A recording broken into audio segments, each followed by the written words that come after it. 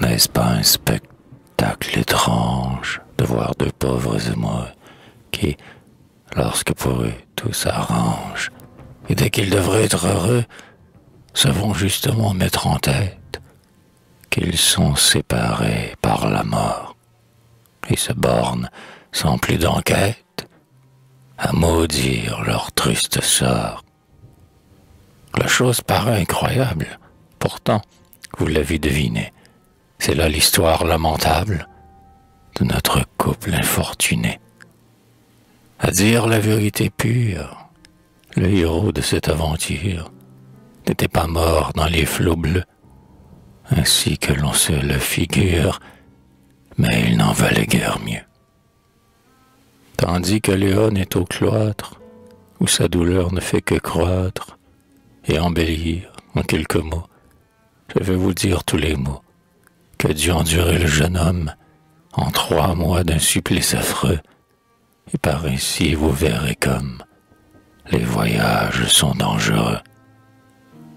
Durant la nuit de ce naufrage, presque tous avaient péri, comme Léon et son ami, tâchaient de gagner le rivage et se dirigeaient à la nage par un chemin fort encombré et surtout fort mal éclairé. On se souvient, sans aucun doute, que Patrice fit fausse route.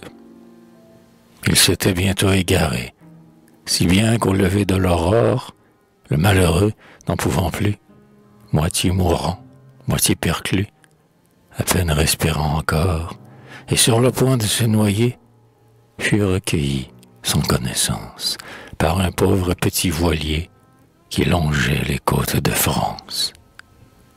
Oh, douloureux rapprochement. Cela se passait justement à l'heure où, loin de son amant, la belle, ignorant son tourment, déjeunait si mignonnement. Le jeune homme, en cette détresse, n'en fut point, comme sa maîtresse, quitte pour la peur, car il fit une terrible maladie, qui pensa lui coûter la vie, et le retint trois mois au lit. Sur ce brave petit navire, il fut soigné, tant bien que mal, du mieux qu'on put. Le principal, c'est qu'il en revint. Mais le pire, ce fut le changement moral qui s'opéra dans sa nature. On ne le vit, dans ces trois mois, pas sourire une seule fois, et cette funeste aventure, après même qu'il fut guéri, paraissait, à ce qu'on est sûr, l'avoir pour toujours assombri.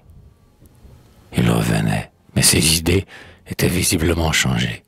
Et de plus, le pauvre garçon crut si bien sa maîtresse morte qu'il ne tint en aucune sorte à s'en faire apprendre plus long. Bref, Patrice, au bout d'espérance, le corps vaincu par la souffrance, pleurant son rêve inachevé, aussitôt de retour en France, s'enfuit tout droit se faire abbé. Vous me direz, c'est mal tombé, mais que voulez-vous qu'on y fasse? Les faits sont là que rien n'efface. C'est tantôt pile et tantôt face. Ce qui m'afflige, c'est de voir, comme ce roman tourne au noir, le malheur est de la partie.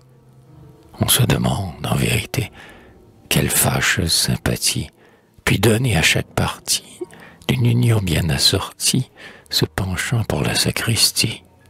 C'est comme une fatalité. Mais souffrez que je continue, et bientôt la vérité nue jusqu'au bout vous sera connue.